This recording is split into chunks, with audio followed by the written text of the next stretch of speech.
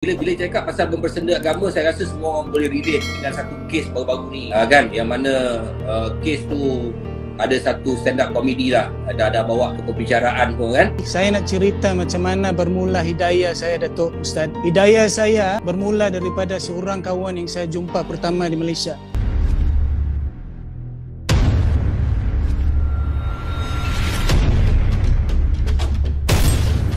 Betul, uh, Datuk. Cerita pasal kita ni tak boleh nak mengutuk agama kita sendiri dan agama orang lain pun Allah Taala sebut dalam Quran la tasubu jangan kamu menghina tuhan lain.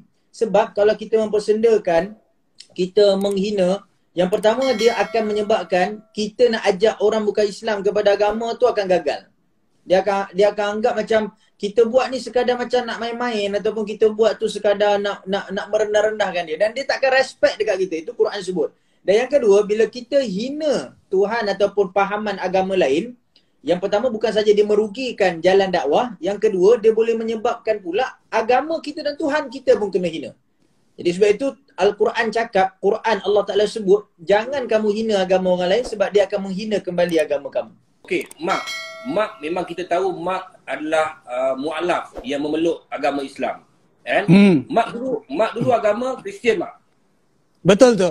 Kristian. Ha, jadi bila mak masuk masuk agama Islam, pernah tak terlintas di hati mak ataupun mak jumpa kawan-kawan mak? Lepas mak kutuk pula agama yang yang dianuti oleh mak dan dulu dan keluarga mak dulu. Ada tak macam macam keluarga mak macam mak semua masih masih Kristian? Adakah hmm. you you you kutuk dia orang ke apa ke? Macam mana kehidupan tu mak? Uh, masa saya nak masuk Islam tu uh, di sekeliling saya adalah keluarga saya. Diorang tak mengutuk tapi diorang banyak mempersoalkan. Diorang ada banyak soalan tentang agama Islam sebab sebelum ni apa yang kita lihat dalam kaca TV, apa yang kita dengar, Islam adalah villain dalam TV. Islam adalah penjahat. Tapi saya nak cerita macam mana bermula hidayah saya Datuk Ustaz. Hidayah saya bermula daripada seorang kawan yang saya jumpa pertama di Malaysia. Dan seorang ni saya nampak dia, dia adalah paling baik, orang yang paling baik yang saya jumpa dalam hidup saya. Dari situ bermula saya punya curiosity tentang Islam. So saya bercakap dengan diri saya, takkan dia masuk neraka? Saya lagi masuk neraka, tapi dia ni Islam. Apa sebenarnya Islam ni? Jadi lepas tu bila mak masuk agama Islam, mak tak pernah mak tak kutuk kan yang yang yang agama lain tak ada kan, agama lama semua tak ada kan? Tak ada sebab itu yang kita itu yang Islam ajar kat kita kita tak boleh buat benda-benda yang elok. Benda-benda yang tak elok. Seperti mengutuk agama orang. Kita diajar untuk menghormat. Menghormati. To be kind. To have discipline. Yang penting menyayangi orang lain dan menghormati orang lain. Betul. Ustaz. Respect. Ya. Orang yang menghukum agama, uh, orang yang mempersendakan agama ni Ustaz. Apa hukum dia? Adakah dia berdosa besar? Saya sebenarnya saya bila bila cakap pasal mempersenda agama saya rasa semua orang boleh relate dengan satu kes baru-baru ni. Uh, kan? Yang mana uh, kes tu ada satu stand up komedi lah. Ada ada bawa ke perbicaraan pun kan? Jadi sebenarnya kalau orang tu orang Islam kalau orang tu orang Islam mempersendakan agama dia sendiri satu. Macam mana dosa dia? Kalau orang lain agama lain mempersendakan agama Islam tu macam mana cara dia Okey, yang pertama sekali bila kita sebut tentang mempersendakan agama, benda ni ada dalam Al-Quran. Surah Al-An'am, surah ke-7 ayat 70 surah ke-6, minta maaf, surah Al-An'am, surah ke-6 ayat 70. Baru saya nak betulkan tadi, bukan surah ni. Ah. kan? Surah Al-An'am dia, dia sejak tanah hambuk ni dia dia dia cantik tau. Dia punya hafalan itu jangan, jangan main-main. Dan surah Al-An'am uh, surah ke-6 uh, dan kemudian ayat ke-70 Allah Taala sebut وَذَرِ الَّذِينَ اتَّخَذُوا دِينَهُمْ لَعِبًا وَلَحْوًا وَغَرَّتْهُمُ الْحَيَاةُ الدُّنْيَا Allah Ta'ala sebut, jauhkan diri kamu daripada jadikan agama ni la'iba, bahan main-main, walahwa dan barang buat lawak. Kan? Bukan mana kata kita tak boleh berlawak dalam agama, tapi isu-isu ataupun perkara-perkara yang melibatkan hukum hakam, yang mana dia boleh bawa orang hina dan merendah-rendahkan nilai agama tu, Allah Ta'ala sebut jauh. Dan maksud jauhkan itu adalah jangan buat dan kalau buat uh, hukumnya adalah boleh sampai ke tahap keluar kepada agama Islam. Sebab kita kena faham syirik ni dalam keadaan syirik ni bukan saja dengan kata-kata. Bukan saja dengan pengakuan tapi dengan perbuatan. Tapi kita kita tengok juga Alhamdulillah dekat Malaysia ni kan tuan, kita ada undang-undang. Makna kata undang-undang ni bukan sahaja undang-undang syar'i bahawa orang Islam tak boleh menghina agama Islam bahkan secara uh, generalnya tak boleh pada mana-mana pun citizen rakyat yang mengutuk dan menimbulkan kekacauan merosakkan keharmonian antara agama. Ha, jadi sebab itu baru-baru ni kita dapat tengok apa yang berlaku uh, bawa ke mahkamah sivil. Dan mahkamah sivil ada undang-undang tersebut dan bagi orang bukan Islam, mereka buat perkara tersebut ada undang-undang disediakan dalam uh, undang-undang Malaysia dan pada agama mereka sendiri pun. Boleh tanya dekat agama kawan-kawan kita yang beragama Hindu, beragama Buddha, kawan-kawan kita beragama Kristian. Saya tanya baru-baru ni dengan kawan-kawan kita, saya tanya boleh tak agama kamu hina agama kami? Kan contohnya kami tengah puasa, kamu paksa kami minum air, kemudian rekod masuk. Boleh tak? Benda tu tak boleh, tak dibenarkan. Hatta uh, sampaikan pernah satu ketika dalam satu video dekat dalam uh, di Amerika Syarikat, orang buat macam prank. Bayangkan orang bukan Islam marah kepada orang yang buat prank tu. Dia buat prank macam mana? Ambil air bagi orang Islam bulan puasa, dia marah. Kata kau ni buat apa? Buat buat benda yang mengarut apa semua macam ni. Dia orang ada sensitivity bahawa tak boleh menghina agama lain. Ha, dan apatah lagi kita orang Islam, tak bolehlah kita menghina tapi atas dasar mungkin jahil. Dia jahil. Kalau dia jahil, maka di situ terangkat hukumnya dia tak tahu. Tak ada dosa bagi dia dan dia perlu diberikan takdib, diberikan dakwah, diberikan tunjuk ajar. Tapi kalau dia sengaja, memang saja-saja dia dah tahu benda ni haram, benda ni dosa, boleh keluar agama, boleh murtad. Maka dia dihukumkan sebagai orang yang boleh keluar uh, daripada Islam dalam keadaan apa ni kinayah. Dalam keadaan perumpamaannya dia boleh diiktiraf sebagai orang keluar daripada agama Islam. Itu besar. Jangan main-main dalam bab kita menghina ataupun mengurang nilai agama ni. Wallahualam. Boleh jatuh murtad Ustaz eh? Boleh jadi murtad. Kalau kita tengok rujukan daripada Ustaz Azhar Idrus, beberapa lagi uh, rujukan daripada Mufti Negeri Sembilan, uh, Mufti Wilayah, uh, Datuk Zul Kifli Bakri pun sendiri menyebutkan bahawa mereka-mereka yang melakukan perkara ini boleh bawa kepada gelincir akidah. Maka rosak akidah dia. So ini bagi yang tahulah. Orang yang orang yang sengaja. Mak sebagai seorang mu'alaf yang masuk ke dalam agama Islam dan kita tengok hari ini banyak benda-benda yang viral yang mempersendakan agama kan mempersendakan agama Islam itu mak tengok macam mana mak dia punya yalah sekarang kan banyak apa ni platform-platform ni social media mak tengok macam mana mak perasaan mak mak uh, sangat sedih dah tu ustaz uh, kita bila kita melihat seorang orang-orang yang buat uh, negativity dalam social media lagi-lagi uh, menghina agama-agama, dia sangat sedih. Sebab kalau kita fikir pun apa tujuan dia, memang peninglah. Sebab apa sebenarnya tujuan dia. Dan sebagai apa yang saya belajar dalam Islam, saya pun tak boleh menilai Datuk Ustaz. Saya, saya hanya boleh menegur secara yang baik. Dan kalau ada masalah nanti, macam apa Ustaz cakap tadi, kita kan ada undang-undang So kita biarkan pihak berkuasa yang uh, uruskan benda-benda ni. Tapi di segi apa yang kita lihat sekarang dalam sosial media, banyak benda tak elok yang berlaku sebenarnya. Ya, dan yang paling teruk, benda-benda tak elok yang berlaku dalam sosial media ni adalah benda-benda yang budak-budak tengok dan juga like. Ya, betul. Tu saya, saya, saya setuju sangat. So, sebagai betul, setuju, orang tua, di rumah atau dalam kawan-kawan saya, saya selalu memberikan pesanan kepada budak-budak kecil supaya diorang tak terpengaruh dengan apa yang berlaku dalam because the world now is open. It's an open book. Apa yang kita letak ke sosial media, orang akan nampak. Seluruh dunia akan nampak. Apa kata kita letak benda-benda yang baik? Kan dapat pahala? Sebab orang suka. Sebab kita tengok sekarang ni mempersendakan agama tu, okey apa yang berlaku baru-baru ni dia cakap pasal al-Quran apa semua boleh buka hmm. baju depan kamera, kata dia hafal 15 juru juzuk al-Quran, kan dia hafal lepas tu dia mempersendakan itu itu secara terang-terang mempersendakan agama. Hmm. Ada bagi pendapat saya mungkin saya salah lah ustaz kan. Kalau macam contohnya dalam Islam dia mengatakan bahawa kita ada aurat kita jaga aurat kita. Kan? Hmm. Kalau kita kat depan kamera tu, wah tahu situ goyang-goyang macam tu. Goyang-goyang, tepuk-tepuk gonggong apa semua. Saya rasa itu, adakah itu dikategorikan sebagai mempersendakan agama? Sebab agama tidak membenarkan, tetapi kita buat. Adakah itu kategori mempersendakan agama Ustaz? Betul, betul Datuk. Sebab macam saya sebutkan, apa yang Datuk sebutkan tadi, samalah kan. Mempersedakan agama dalam keadaan perbuatan kita. Itu juga mempersedakan agama. Tapi mungkin tak tak nampaklah secara terang. Ha, dia nampak buat macam itu dari segi keroskan akhlak dan itu juga bawa fitnah kepada agama.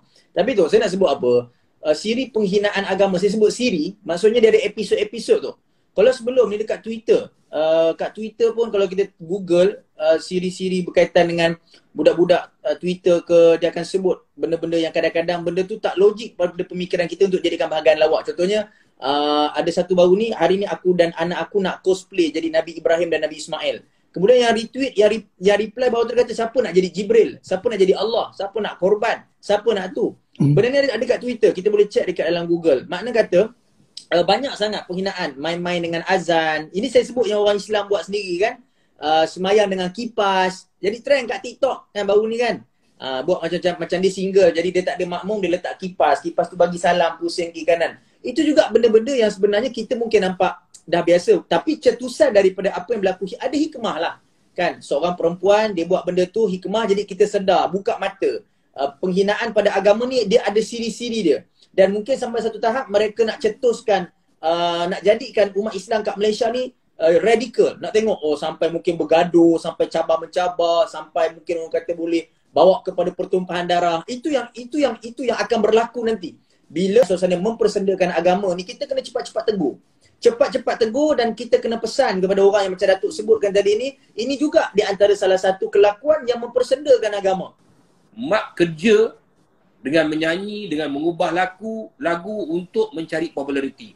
Apa perasaan mak, apa pendapat mak bila ada orang mencari populariti dengan cara yang mempersenda agama yang macam Ustaz cakap tadi, ada yang kecil tapi dia tetap mempersendakan. Apa pendapat mak? Uh, seterang-terangnya benda tu dah tak elok dah tu. Dah berdosa kat situ. So siapa yang tanggung nanti? Kita kalau kita nampak orang-orang macam ni kita akan tegur sebaik mungkin. Disebab tu saya masuk Islam. Saya masuk Islam bermula daripada orang yang sangat baik, orang Islam. So apabila kita tukar perangai kita macam tu, mungkin kita boleh ajak orang ramai menjadi orang yang baik kan tapi kadang-kadang pun bila kita tengok sosial media ni kita pun tak tak tahu orang ni betul ke tak kita tak tak nampak source dia bila dia buat benda-benda yang tak elok apa ni bercakap tak elok tentang agama sebelum kita bercakap negatif kepada orang tu kita kena nilai dulu dia orang ni betul ke tidak kalau tak kita pun nanti akan berdosa wah kacau juga kan lagi baik jangan tengoklah sosial media ni mak kalau tengok tak tegur nanti kan berdosa pula kita. Baik jangan tengok. Aku kadang malas nak tengok benda tapi kan dia melintas kat depan aku juga. Kan? Betul lah. Kalau kita uh, orang-orang dewasa ni, kita boleh faham. Yang budak-budak kecil ni di sekeliling kita, di orang kita kena ajar di orang. Kau pun kelakar lah sebenarnya. Aku tak tahu macam mana kau boleh jadi orang yang kelakar. Kadang-kadang kau sebut satu perkataan ni, aku dah tergelak.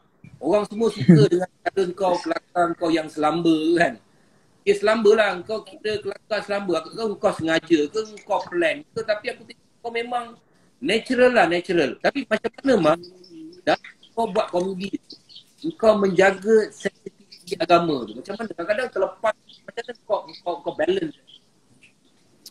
Okay sensitiviti agama. Kaum dua. Ada dua kan? Dalam dunia ni Datuk ada berbilion benda yang kita boleh guna untuk berjaya dalam hidup. Bukan saja dalam Allah dah bagikan kat kita kan? Kenapa nak guna juga sensitiviti agama? Kenapa nak uh, bercakap tak elok tentang agama?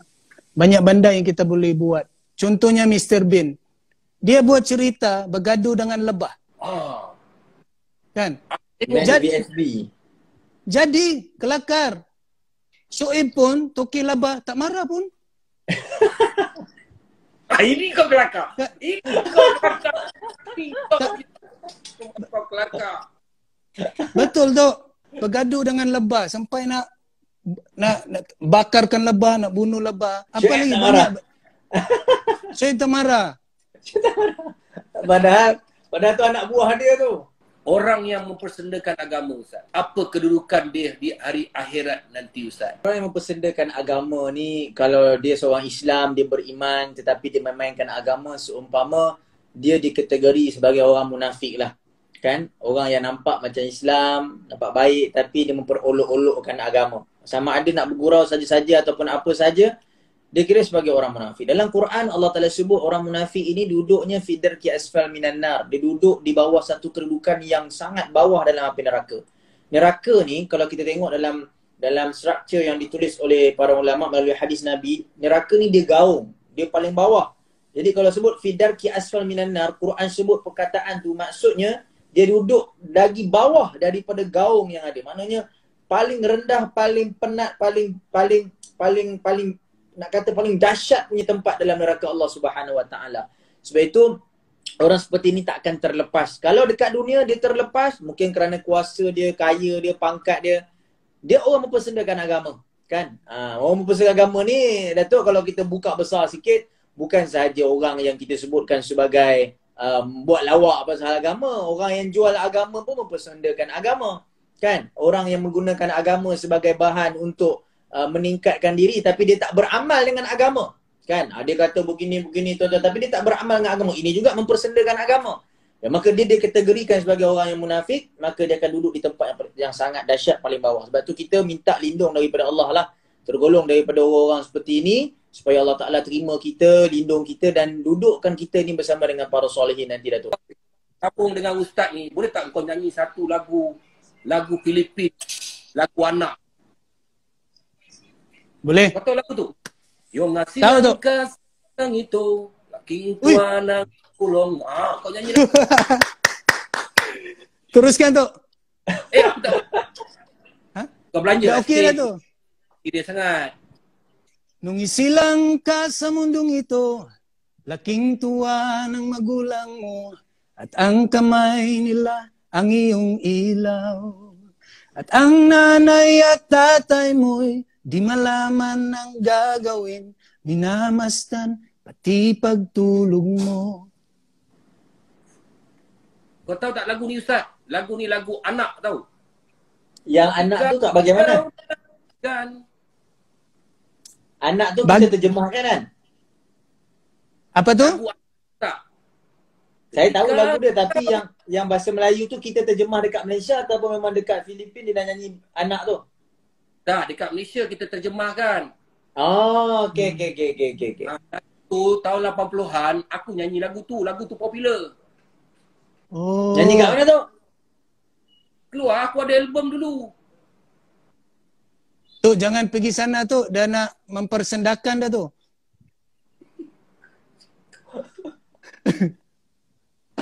Ustaz kelakar Tak betul tu. Jawapan kau tu betul. Jawapan kau tu betul. Sebab macam Ustaz, saya balik pada apa yang Ustaz cakap tadi. Kita ada undang-undang. Jadi gesaan untuk menutup ataupun buka semula tempat itu bukan hak kita. Biarlah pihak berkuasa yang menyiasat. Mungkin ada kes-kes lain ke apa ke. Biar dia yang siasat. Biar dia orang lah yang... Dia pihak berkuasa yang diberi kuasa. Kita ni hanya keluar. Jadi kalau dia kata buka balik, mesti ada sebab-sebab ken- ken- kenapa nak kena buka balik.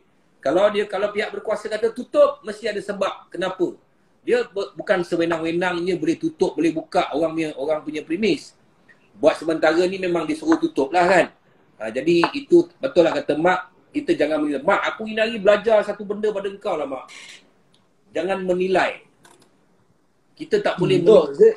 Betul tu. Tu uh, pasal stand up comedy kan. Saya bila tu sebab stand up comedy, saya suka stand up comedy tau. Kalau luar negara tu saya suka Trevor Noah. Betul ke nama dia Trevor Noah? Eddie Mo, uh, kalau dekat Malaysia ni saya suka Mat Sabah. Oh. Uh, saya suka konten orang ni sebab saya macam saya ceramah seorang-seorang. Kadang-kadang kalau kita ni ceramah bagi satu level je orang tak suka. So kita kena ada benda-benda yang komedi yang kita boleh buat seorang-seorang tanpa melibatkan orang lain. So konten-konten orang ni bagus. Macam Trevor Noah, siapa lagi banyak lah. Uh, kalau English pun Sarah Silverman, uh, dia pun saya tengok kat YouTube, dia pun pandai juga olah. Ada seorang lagi tau, uh, orang Asia, dia jadi stand up comedy. Dia, dia masuk satu pertandingan stand up comedy. Orang Cina tak silap. Orang Cina Yeah. uh, dekat Amerika. Apa nama program tu?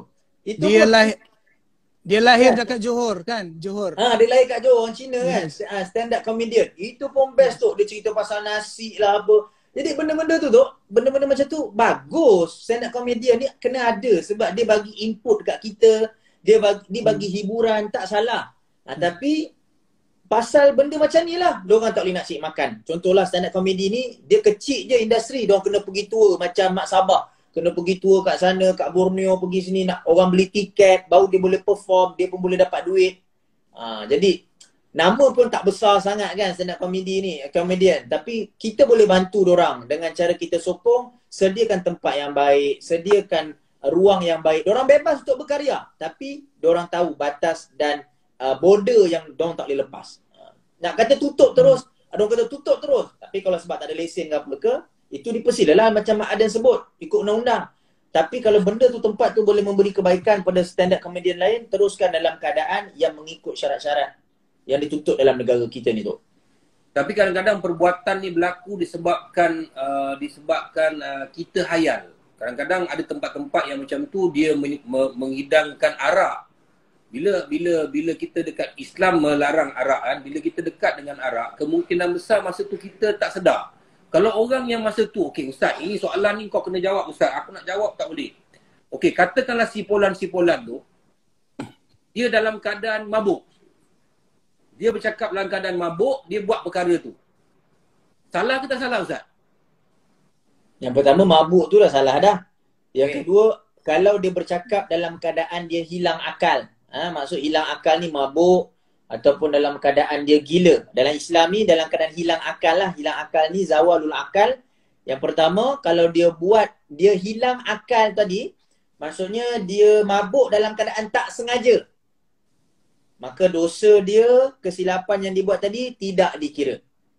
Okay, tak sengaja. Makan-makan ubat tiba-tiba mabuk, dia ceraikan isteri dia. Ha, tak jadi, cerai tak jadi. Dia mabuk-mabuk makan ubat apa tiba-tiba dia cakap benda-benda yang boleh menyebabkan uh, sensitiviti agama. Dia kata itulah ini hina Nabi apa. Benda tu tak dikira bagi dia. Kan? Uh, tak dikira bagi dia. Sebab dia dalam keadaan mabuk tak sengaja. Kira hilang akal sekejap. Tapi kalau dia mabuk sengaja. Kalau ikut hukum, kalau dia menceraikan isteri dia pun jatuh hukum. Mana begitu juga bagi orang yang mabuk sengaja, dia cakap benda bukan-bukan pasal agama, maka dosa juga bagi dia. Oh. Jadi maknanya kalau kalau benda tu dah memang dia dilarang oleh Islam, kau ambil dan kau cakap benda yang lain, kau buat benda yang lain, maknanya dikira Ustaz eh? Double trouble lah. Double trouble. Oh. Kalau kecuali dia gila, hilang akal tu okey. Kan? Ha, ya, tak ini, sengaja. Ini... Kalau dia tak sengaja, contoh macam saya sebut tak sengaja tadi lah. Dia, dia hilang akal secara tak sengaja kan. Ha, makan ubat ke apa ke. Tiba, tiba-tiba tergila, termabuk dalam keadaan dia tak minta pun. Tak sengaja jadi macam tu dia cakap benda-benda yang yang uh, merosakkan agama hina-hina-hina tu, mana bagi dia tu tak tak boleh kita hukum dia sebagai orang yang menghina agama. Sebab dia hilang akal secara tak sengaja. Ustaz, aku lagi aku lagi topik sikit, aku lagi topik sikit. Aku ada kes kawan aku baru ni lah. Dia dia bergaduh dengan, dengan isteri dia dalam keadaan marah dia ceraikan isteri dia. Boleh ke tak? Itu dia ambil kira tak boleh ambil kira. Dalam dalam keadaan yang terlalu lalu marah dia, dia ceraikan isteri dia. Adakah jatuh talak atau tidak? Dalam keadaan dia terlampau marah, eh, dalam keadaan terlampau marah bila dia menceraikan isteri dia memang ada dua hukum tu. Yang pertama memang jatuh dengan niat. Mana dengan niat yang sebenar sebelum dia marah dia dah berniat tu. Kan? Dia dah berniat sebelum dia marah tu dia dah berniat dia nak berpisah dengan isteri dan dia cakap secara terus terang dengan tiga lafaz aku ceraikan kau ataupun aku berpisah dengan kau ataupun aku dah tak mahu duduk dengan kau. Jadi maksudnya ketiga-tiga ni lafaz yang jelas dia dah ada niat dan dia dia dia, dia sertakan niat tadi dengan marah selepas daripada tu. Adapun yang kedua, kalau dia dalam keadaan marah tadi dia macam tak sedar. Maka hukum dia melafazkan talak ni tadi dia jatuh kepada lafaz kinayah dan dia perlu pergi ke pejabat agama untuk menentukan niat dia. Betul tak tadi? yang kau marah-marah tadi tu yang kau kata kau tak sedar kau marah kau niat betul-betul nak ceraikan. Tak saya tak ada niat nak ceraikan dia. Maka tak jatuh hukum cerai. Wallahu alam. Sorry sorry ustaz mak. Saya lagi topik sikit. Tak apa ustaz. kawan saya ni dia cerai talak tiga. Ha? Ui. Banyak. Ha. Mungkin dia buat-buat mabuk? Bukan. Bukan dia tengah marah dia bergaduh dengan bini dia. Oh okey. Kita doakan yang baik-baik tu. Oh, ini ustaz level A kelasnya. Tapi apa? pun hari ini kita dapat sedikit pencerahan, uh, bukan kita nak mencari kesalahan, tetapi kita membuka mata, membuka minda kita kepada semua yang uh, mereka di luar sana kerana itu yang kita sembangkan dalam sembang viral uh, di mana kita uh, kita mengambil topik-topik yang sedang viral dan kita menjemput uh, orang seperti Mak, orang seperti Ustaz uh, untuk kita bahaskan uh, yang mana baik, yang mana buruk dan mana sepatutnya yang kita harus harus ikut. Dan uh, saya dapat uh, uh, ilmu baru daripada Mak tadi, dia kata apa pun dia tidak mau menilai. Kerana bukan kerja dia untuk menilai. Dan apa pun yang berlaku kepada sipolan-sipolan yang kita tahu tentang viral ni, uh, maka jalan untuk bertobat tu masih terbuka.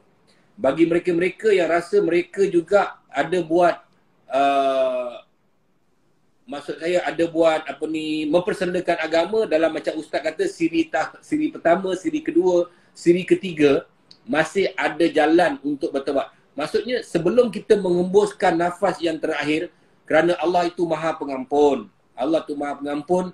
Bukan mereka saja yang buat kesilapan, mungkin satu hari nanti kita juga membuat kesilapan ataupun kesalahan yang sebegitu. Jangan kita menghukum orang lain kerana menghukum orang lain tu kalau kita dalam apa yang berlaku kita terbabit dalam message uh, dengan kita kita punya kata-kata penghinaan apa semua sebenarnya tanpa kita sedar sebagai netizen juga kita sedang membuat dosa daripada perlakuan tidak baik orang ini juga harus di, uh, kita berhati-hati uh, kerana kita tak nak jadi benda tu uh, sebagai satu benda yang membebankan kita di hari akhirat nanti jadi uh, saya berharap dengan uh, perkongsian kita selama satu jam bersama dengan uh, Ustaz Amin uh, dan juga Mak Adam uh, memberi pencerahan pada diri kita dan sahabat-sahabat kita yang menonton kita secara live uh, hari ini. Terima kasih banyak Ustaz.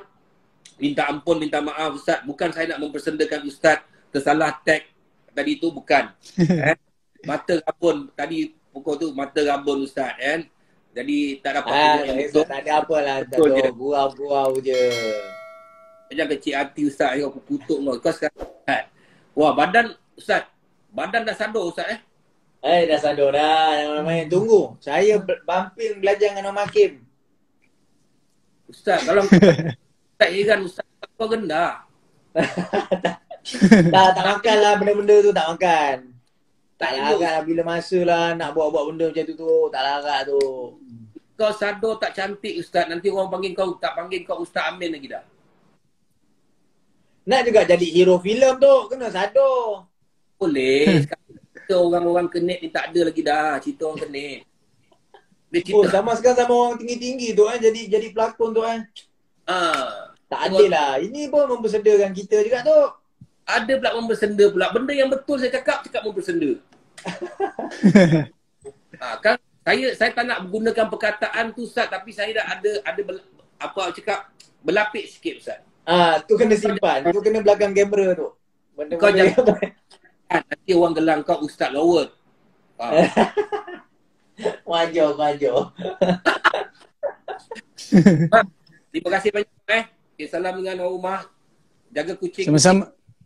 Ya, Ustaz minta ampun minta sepanjang satu jam ni saya bergurau dengan mak dengan Ustaz.